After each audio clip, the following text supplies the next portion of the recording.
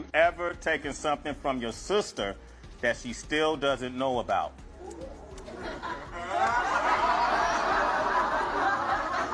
What So now? I'm in front of everybody. I'm gonna just let her know.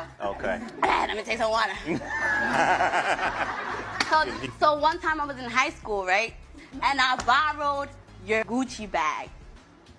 And remember? And you was like, where is it? Where is it? All right, this is the story. One time I, I borrowed it. I didn't tell you. I got sick. I got fever. I ended up going to sleep in the in the steps because I was locked out the house. And then and then I fell asleep. I woke up and then I went in the house. I forgot to get it. And somebody stole it. Somebody stole it, right? I swear I went on every door knocking.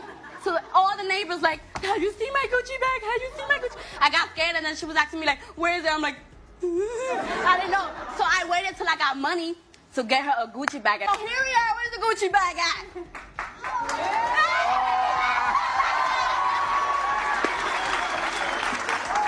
That's not fair. She was getting money. I was broke. she was like,